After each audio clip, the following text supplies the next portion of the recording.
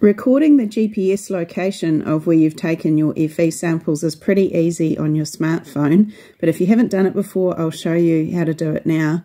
I'm using an Android phone, so I've opened Google Maps, but if you've got an iPhone, you'll open Apple Maps, and the process is the same. You just bring your finger to rest on the screen next to where you are, and um, it will drop a pin, and the GPS coordinates will appear in the bar at the top of the phone. So I'm just going to drop my finger here, can see that little red pin turn up and at the top of the screen there is my GPS coordinates.